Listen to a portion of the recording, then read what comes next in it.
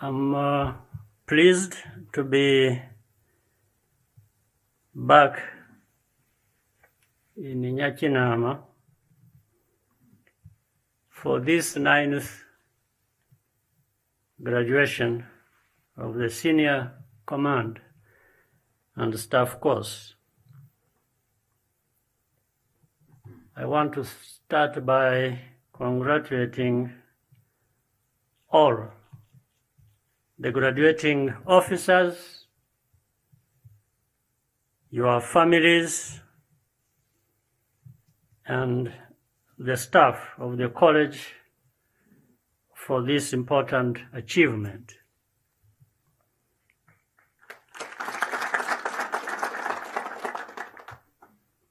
The continuous acquisition of knowledge and skills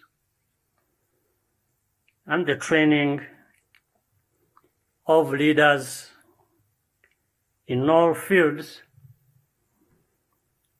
is an important part of Rwanda's development trajectory. The armed forces are therefore no exception. This mission of this college is to educate a professional officer corps to serve our country's needs and aspirations.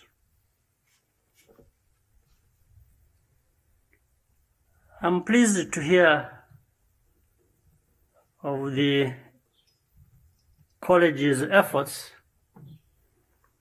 to modernize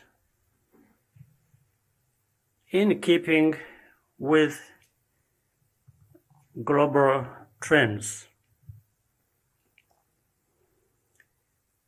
The 47 officers graduating today embarked on this course with a clear understanding of the role of the Rwanda Defense Force as an integral part of our country's identity and transformation journey.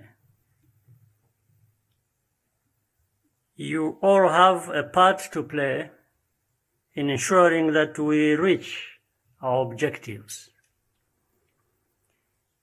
You have gained even more capabilities from this course and therefore more is expected of you.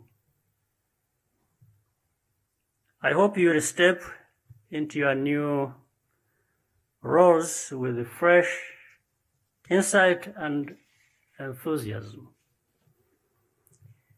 There are important challenges that require your leadership, as well as constant collaboration with other institutions. First, we must continue to consolidate the values of trust consensus and the accountability that characterize our society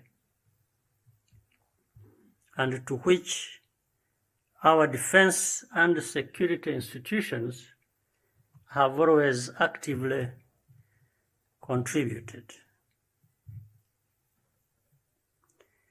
Second, as 21st century officers, you will operate in a volatile geopolitical and security environment as part of an ever more interconnected world. Interconnected, unequal as well. Uh, mark my word, unequal. Therefore, it adds uh, another dimension of responsibility. How do we based on this knowledge and commitment, and even if limited resources, how can we raise ourselves to that level where we feel we are equal with others. This unequal or raising ourselves to the level where we feel we are equal to others is loaded with many other things. And it's also an issue of mindset. It's an issue of choices we have made or we want to make going forward. It's an issue we have talked about several times in the past,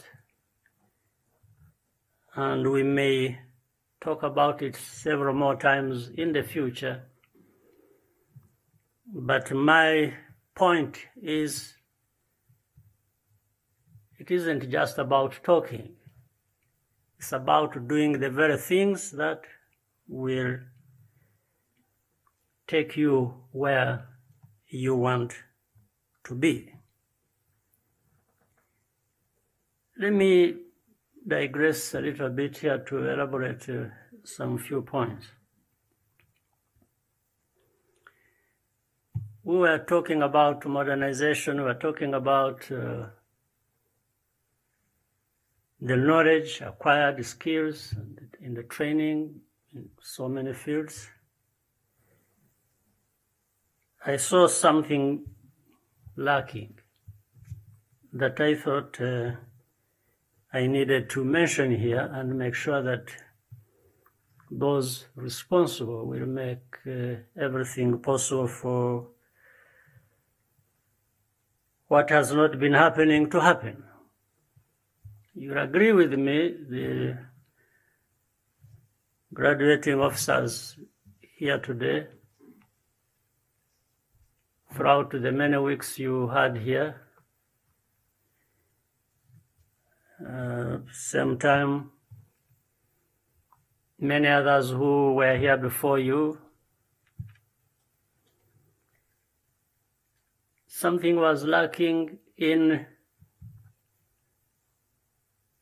understanding or utilizing IT,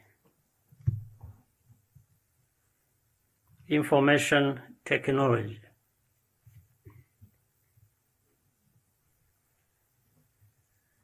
And um, because I, before I came here, I was asking uh, the leaders I met before I came here, the leaders of the our defense forces. Uh, how much that is utilized here to help students uh, make broader studies and, and actually learn that uh, uh, learn to use the tools themselves here as part of the course. And um, the answer was, I understandably, I mean, clearly that one which I didn't want to hear. So, from today, going forward, those who are here responsible for that field, be it the Minister of Defense, leaders of uh, RDF and uh, education or IT people.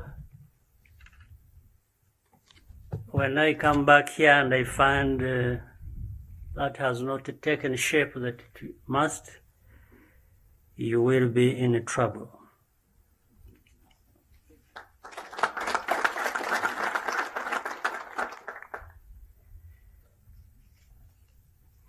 Then for unequal again, I meant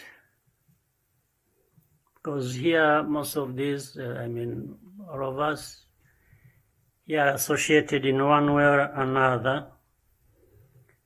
When I had uh, people talk about security studies, I, I imagined uh, it was security in a much broader sense, and uh, also when we talked about uh, geopolitics.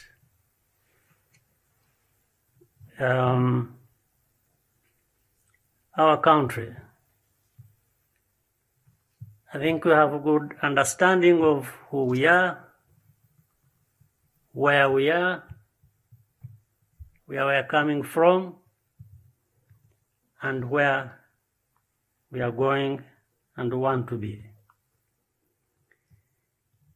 You know, there's something intriguing when we are talking about um, lack of security in some aspects.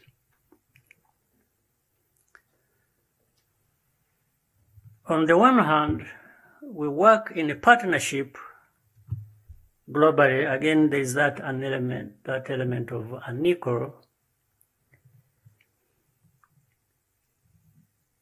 In that partnership, we get a lot of support, we work together, we address problems in areas where there is lack of security. But at the same time, in our relationships, in the way we do business, we find with one hand, we are helping to deal with matters of security. On the other, we are actually contributing to creating insecurity for countries, including our own. What do I mean? Particularly in our case, there have been even uh, people who graduated like today, as you have, who say run into problems of their own making. Sometimes, in actual fact, problems of criminal, criminal nature. And then some people run to countries called our partners.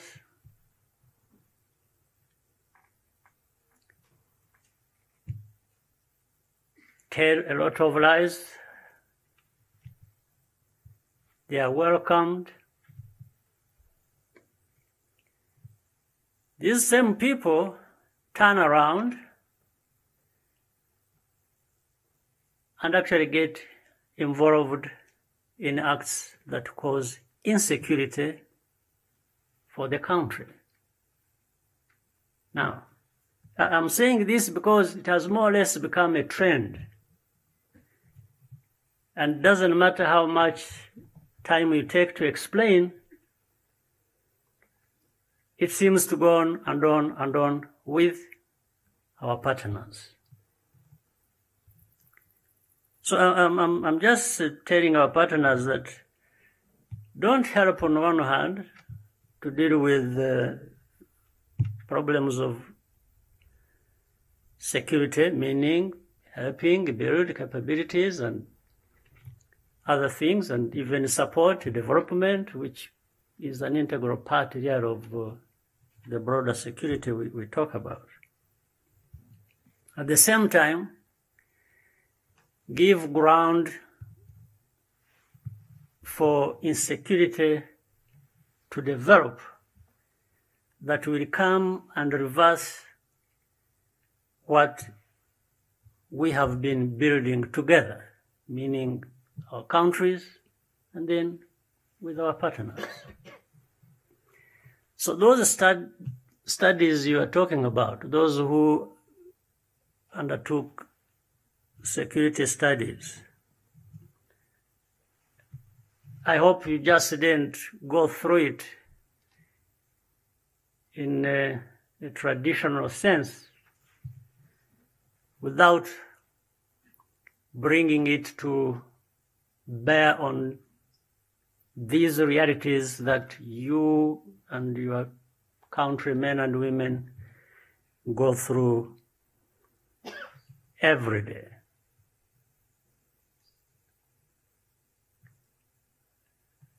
Otherwise, it will. Uh, it, it's interesting because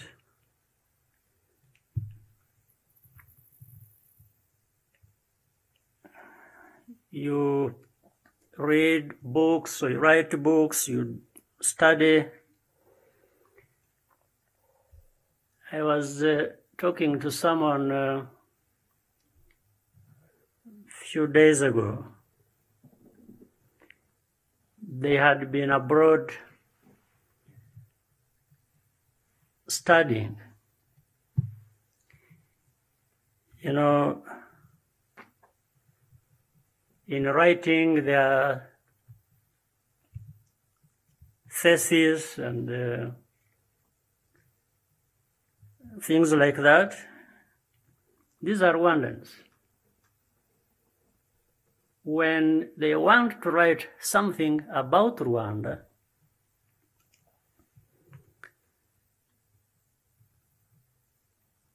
in the context of the course that they undertook. The readers say of this course will tell them no, not to touch it, not to talk about it, that they look for something else. The reason you would imagine was would be to say you would be biased because that's where you come from. No because that would be a simpler problem to address. The one who will mark you and uh,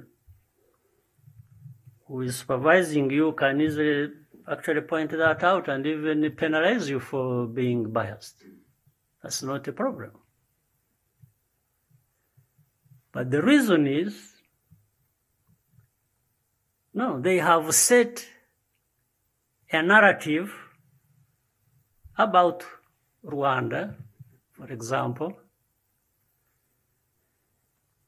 and they don't want anything deviating from that narrative they have created. If you write something and then you give facts, you give evidence, you destroy the narrative, that is not uh, something they would be happy about. So that's why they tell you no, don't. Uh...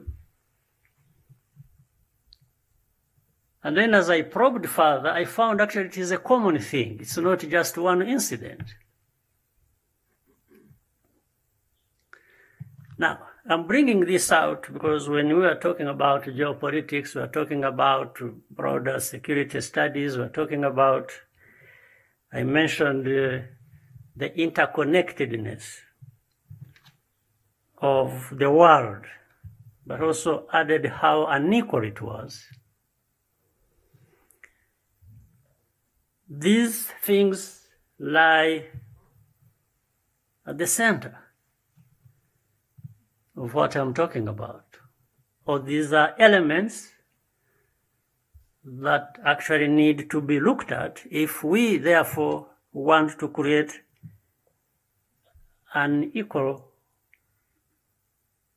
This time we want to create a world where we are equal. Equal shouldn't be just words, it should be demonstrated in real life. So you officers, I'm saying don't just leave this place where you invested a lot of uh, efforts and studied hard and without looking at things in a way differently from how they have been looked at for many years, for decades. Uh, sometimes, in fact, things happening today taking us back centuries we've gone through. So I thought I needed to bring this up with you. I could have said uh, much more, but uh, let me keep that for another time.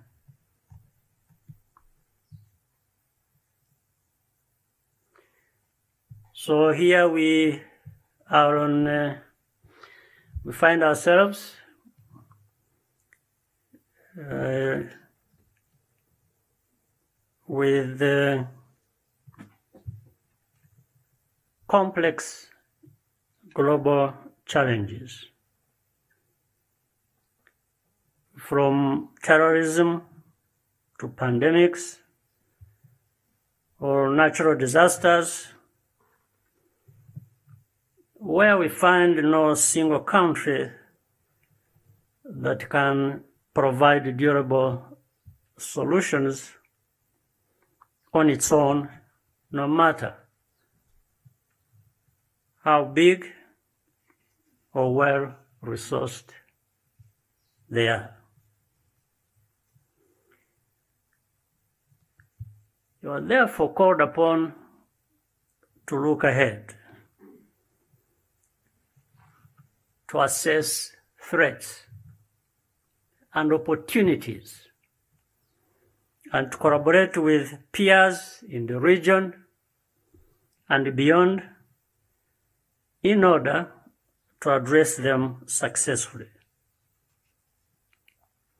Our defense force is already making a difference in several theaters because we are anchored in a tradition of discipline and duty while remaining dedicated to the well-being of citizens. Finally,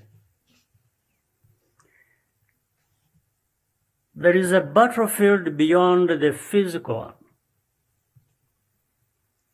where RDF must always be ready to protect Rwanda's security and stability uncompromisingly. This is the struggle to instill the mind state amongst ourselves that Rwandans and Africans are as equally deserving as others in terms of freedom, respect, and prosperity. We must be diligent in securing better lives for our people and contributing to a better world for all. I wish to conclude by once again thanking the families and friends who are here to celebrate with the graduates.